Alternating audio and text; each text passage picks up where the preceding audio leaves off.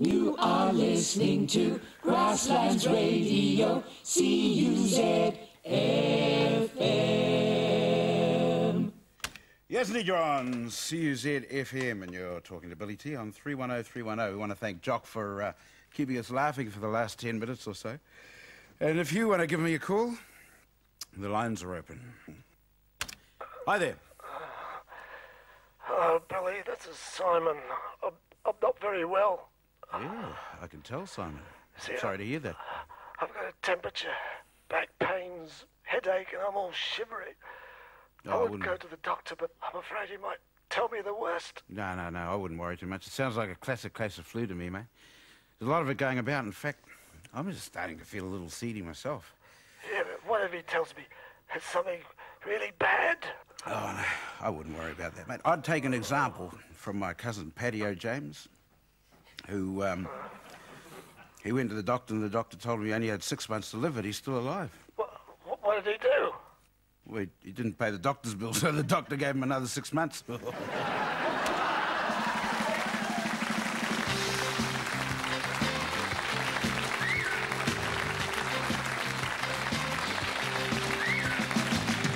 in jungle green. What a sight to be seen.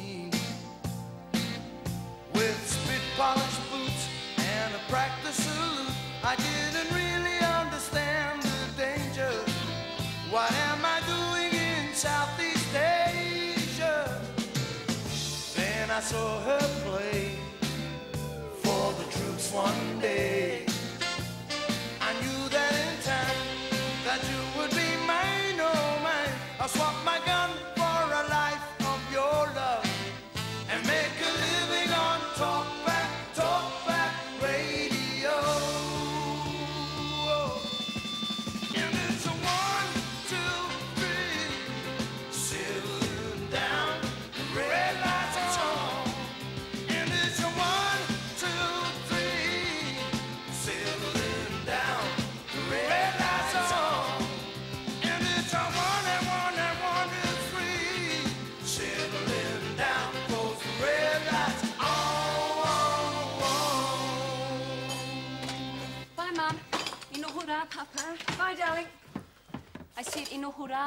Yeah, Kakati, please.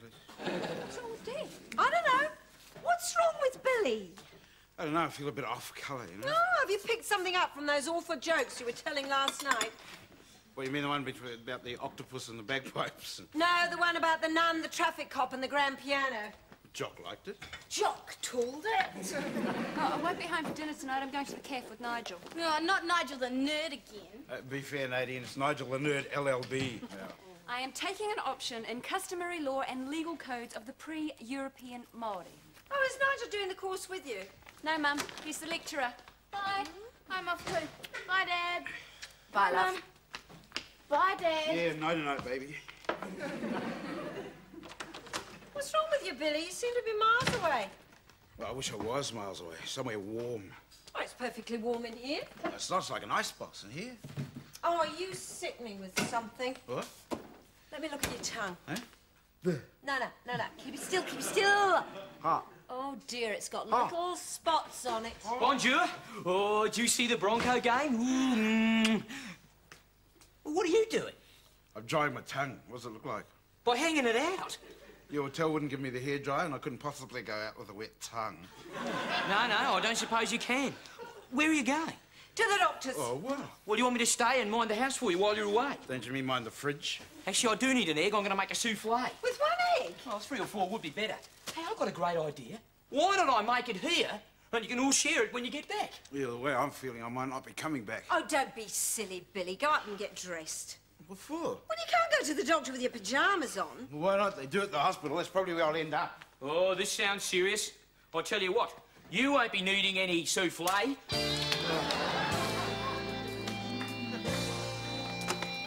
Chicken pox. I must have had chicken pox. Everybody's had chicken pox. Well, you've got it now. Adults don't get chicken pox. It's not natural. Have you got chicken pox, Bill? No, Greg, I've got foot and mouth disease. That's why we're talking about chicken pox. I didn't think that human beings could actually catch foot and mouth disease. Because if you did, we'd have to throw you in a huge pit and burn your carcass. Ooh, it'd be awful. Greg, he hasn't got foot and mouth disease. Oh, well, that is a relief. Otherwise, we'd all have to put on gumboots and, and wade through pools of Dettol just to get inside the house. He's got chicken pox. Oh. Well, why are we all talking about foot and mouth disease? Greg, Yeah? shut up. Oh, oh Billy, you look dreadful. I look dreadful. You ought to see Greg from this angle. Look, take this, go upstairs, and I'll bring you some tea in a minute. Yeah, all right. And the paper? Yes. And the portable TV. Yes. Do you want me to bring up the Mark II, too? Oh, could you? Because I've been wanting to set the tablets all week. Eh?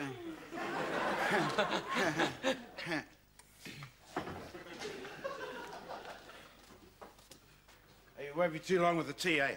No. It started. The day in the life of the world's worst patient and the world's most patient nurse. Mind you, sis, I can imagine Bill's a bit distraught. What with the terrible sense of loss he must be facing. Sink. All right. What are you talking about? Well, these things are important to a man, even at Billy's age. What? Look, I didn't want to say too much in front of him. You know, about his. Well, uh. uh his manhood, uh, his degenerative powers. Have you gone completely mad? He's got chicken pox. Precisely, Thelma. And that is the tragedy. Chicken pox in the adult male. It has been known to cause, well, you know, loss of certain functions. Greg, that's mumps. Yeah, but chicken pox is a form of mumps, isn't it? Well, I should know. I mean, I had it when I was in Australia, but only as a child, you see. So fortunately, my functions uh, haven't been affected, as far as I know. Hey, what's happening with the tea, you fellas? I think you'll find you'll need more than a cup of charsis. This may even end up in counselling. The tea! What's with the tea? I'm the one that's going to end up in counselling. Look, just try and break it to him gently, Thelma. Be careful of his mana. What?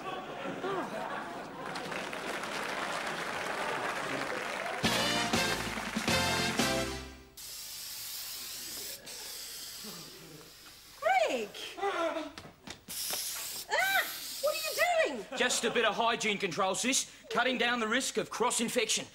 Now, where was Billy sitting when he first felt ill? There. Right. There. That's made that chair safe. What's that? Disinfectant. Antibacterial spray. Death to the virus. Yeah, well, it'll be death to you if you kill off my pot plants. Sis, how can you compare a pot plant to a human life? Greg, we are talking about chickenpox, which you've already had, or so you say. And what about you and the girls? And not to mention visitors. I had chickenpox when I was eight years old, and the girls have already had it. And the visitors can take their own chances. Yeah, but these viruses are tricky little devils these days. They can mutate and lie dormant in cells for thousands of years. Look, look, Greg, I've got to go to rehearsal in a minute, and I'll be there for about an hour and a half. Do you think that you could stay here and look after Billy, just in case he needs something? I wouldn't be the true brother to you that I am, Thelma Reynolds, if I was to leave Billy up there neglected. Look, I know you two are going through a difficult time, but you go off and do your singing and leave your dear old brother Greg to care for the afflicted, care for the sick, care for the unfed. Greg! Yeah? Shut up. oh. Now, sis, leave it to me. I've read up on counselling. Sis, What? well, you reckon we should hang up a little yellow flag at the bottom of the gate? Oh. That's what we do in the Navy.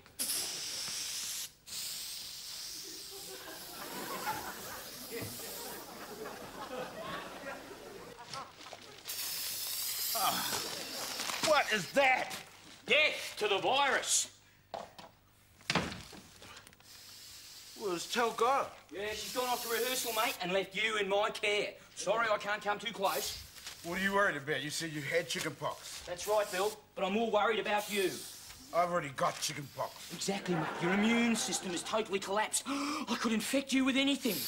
Ah, yeah, like terminal stupidity. You're feverish, Bill, aren't you? You don't know what you're saying. No, but I know what I feel, and I'm bored. Right, William James, you and I are going to have a little chin wag. Comfy? Not now. Bill, as a man, I know what you must be going through. Yeah, well, I wish I could say the same. Because I haven't got a clue what you're going through. You're bitter, aren't you, Bill? Look, I know what you're worried about, mate. Look, not being able to get a... always been uh, loss of function. Must be terrifying to any man. What loss of function? Well, I don't have to spell it out to you, Bill. I thought you and Thelma would have already discussed this. Discuss what? Chicken pox in the adult. The adult male. look, Bill, there's some ways to look at this. You've already got two beautiful, adoring daughters. Thelma probably doesn't want any more children. Greg, that's mumps. That's what you want to believe, isn't it, Bill? But these viruses, you know, they can mutate into any form they like. Yeah, even Australians. You're already experiencing the classical progression, aren't you, Bill? Hmm? Disbelief, followed by denial and anger. But eventually, you will find an inner peace. Greg, you don't know what you're talking about. Now, that's not fair, Billy. When you're at work, I watch every episode of The Flying Doctors. Look, I finished reading the newspaper. If you really want to make yourself useful, go and get me a Metro. Oh, right. You sure you wouldn't rather have a Playboy? Well, no. I don't suppose you would.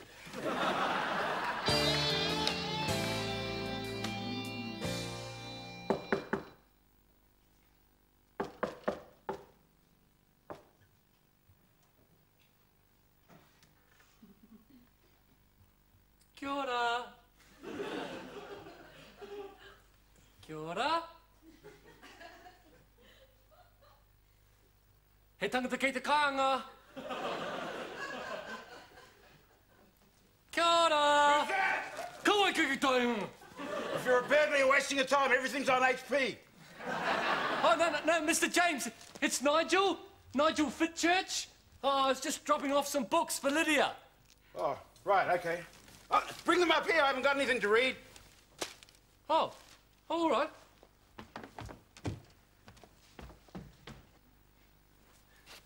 Kia ora, Mr. James.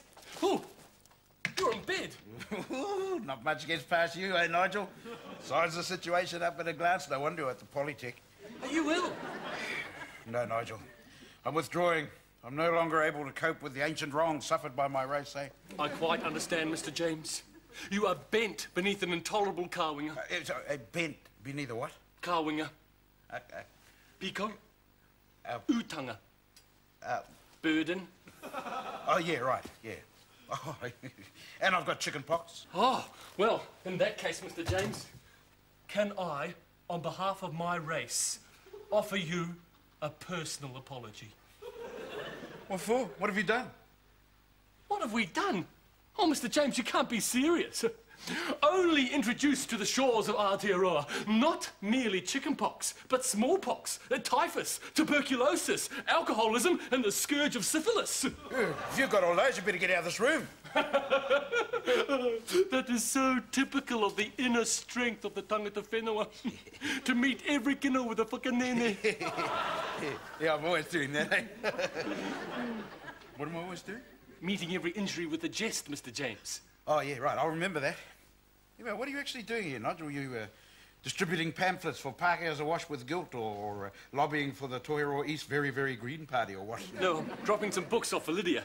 She's doing my course, you know. Oh, yeah, that's right. She told us. What is it? Unlawful customs of the pre-Maori European, isn't it? No, no, no, no. Customary law of the pre-European Maori. Oh, right, right. You, uh, you bring your, deliver your books to all your students, do you? Yes. Uh, no. Well, which one is it? Well, so far, Lydia's the only one doing my course. Uh, But we're hoping to have it made compulsory. Oh, you should have your own Mr. Jackson then. Hmm, good idea. Well, if you could pass those on to Lydia, I'd better be off. Yeah, right, all right. And can I say, Mr. James, that this is not your fault? Well, that's a relief, Nigel. No. You're the innocent victim of a fatal combination. Pākehā illness treated with Pākehā medicine. Nigel, I've only got chicken pox. Ah, you may call it chickenpox, Mr. James. But to those of us who have embraced the holistic medicine of the Maori, know it to be an affliction of the soul. The awe. The way. Yeah, well, I'm feeling a little bit tired now, Nigel, so I wonder if you wouldn't mind going our way. Another kino answered with a whakanene. Yeah, well, I'm much better now, thanks, Nigel. Yeah. Have you ever thought of being a doctor? Doctors? Who needs doctors when you got Greg Reynolds on the job? Fellow of the Australasian College of Life. Well, what are you doing here? You're not a doctor. No, I'm a lawyer. Has it come to this, Bill? Look, just because of what we talked about before doesn't mean to say you got to make your will out. I mean, there's still heaps of things to live for. Your children, your wife. Brothers-in-law. Exactly. Anyway, you get away from him. Jeez, this man's immune system has collapsed. You could give him anything. I don't want to give him anything. I was borrowing. I was borrowing from the body of Maori Tonga. Yes, well, if I was you, Nigel, I'd be more worried about catching from this body of Maori Tonga. Have you ever had chicken pox? He looks like he might have. I feel I'm armed against such things with a threefold shield of diet, philosophy, and aroha. Oh, yeah? Those are the three new Cook Strait ferries, Greg. Another fucking name. It wasn't as bad as that. well, Mr. James, mati atua koe. Itiaki, imanaki, kakiti ano. Vaya con Dios. the three Cook Strait ferries. oh, Jeez, that's priceless, Bill. It wasn't that good either. Greg, Greg, why are you dressed like that? Well, I'm only thinking of you, mate. I am totally sterile. Here you go, Mr. James. Here's your Metro magazine. Five dollars, thank you. Uh, uh, go- I'll owe it to you on Thursday. Fine. I know it's a rubbish bag, but as I said before, I am totally sterile. Sir Brian Barratt-Boyes could wear this outfit. You look ridiculous. No more ridiculous than Sir Brian Barratt-Boyes in his outfit. Yeah, but he hasn't got Waikato Refuse Department stamped all over his. Greg, you've had chicken pox. I'm not thinking of me, sis. I'm worried about Billy. I'm protecting him against me, and you lot should be doing the same. Yeah. He's got a point, you know. I reckon Nadine would look really good in a rubbish bag. It would suit her so much better than all the other things she wears. Yeah, well, they wouldn't be able to get a surgical mask big enough to cover your mouth. Hey, hey, hey, time out, girls. Yes, well, according to Nigel, there's no need for any of this because I'm protected by the threefold shield of diet, philosophy, and aroha. Three Cook Strait fairies. Oh, that is priceless, Bill. Aroha is no laughing matter. It is your pākai, your shield against this purepure. What? Purepure, disease-causing spots on the skin. I looked it up. Now, just a moment. I thought you had chicken pox. I don't think I've had this purry puri. Is that something like beriberi? They're virtually the same thing, Greg. You know, like um, chicken pox and mumps. Geez, that's a bit of a worry. Thank goodness they got me outfit on, eh? Except for one thing. What's that? Take your mask off. Oh, yeah.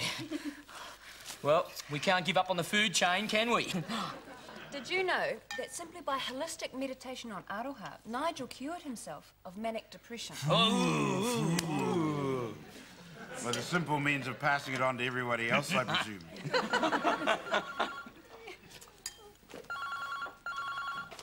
Hello? Oh, hello, Mum. How are you? Greg, Greg. Greg, Yeah? it's Mum in Brisbane. Oh, yeah, yeah, we're all fine. Good one. I'm dying, and she says we're all fine. Well, nearly all fine. Poor old Billy's got chicken pox. Oh, tell the whole world. Yeah, it is unusual in adults, isn't it? It's a good thing we've all had it. Oh, hasn't he? Well, what was it then? Measles. Oh. Uh, uh, Greg, Greg, Yeah? Mum wants to talk to you. Oh, right. Thank you. Hello, Mum. Yeah? Is that right? It's measles. Well, why didn't you tell me at the time?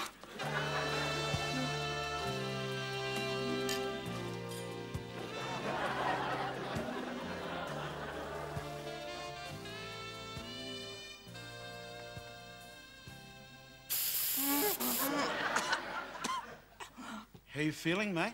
Oh, I feel like a cane toad embedded on the Pacific Highway, Bill. Oh, that's no good. Listen, uh, have you noticed any, uh, you know, loss of, uh, you know?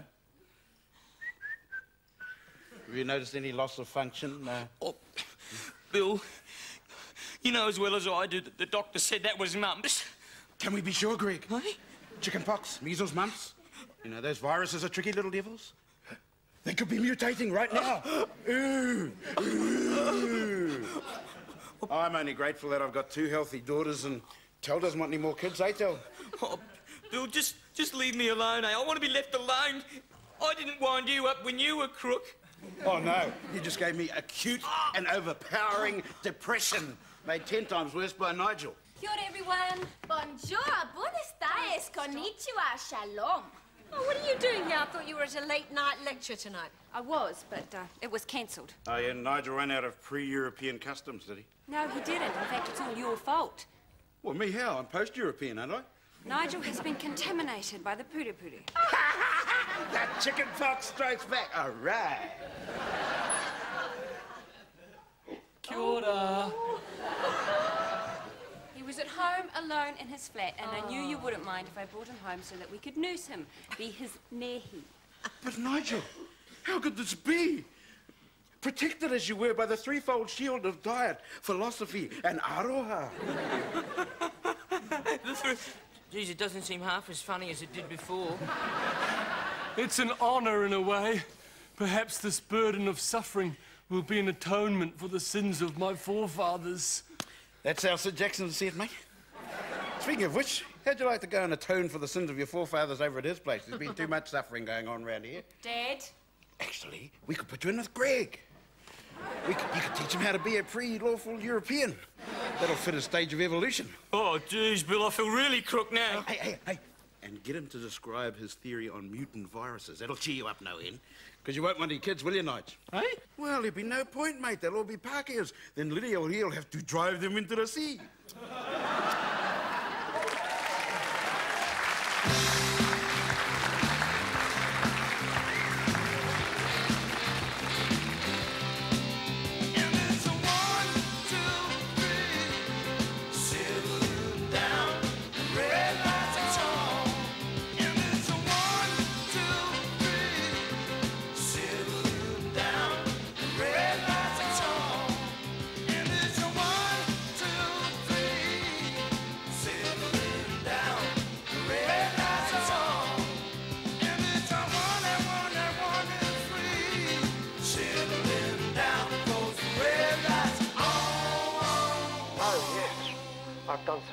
Very interesting experiments crossbreeding birds.